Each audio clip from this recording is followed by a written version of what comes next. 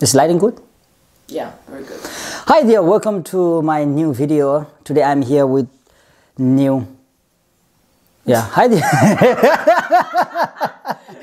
Hi there.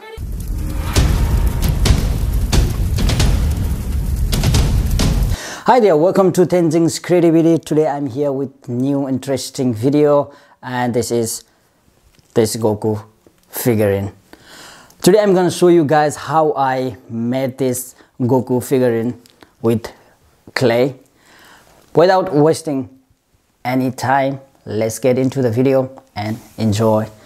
I will see you guys in my next video. Have a good day.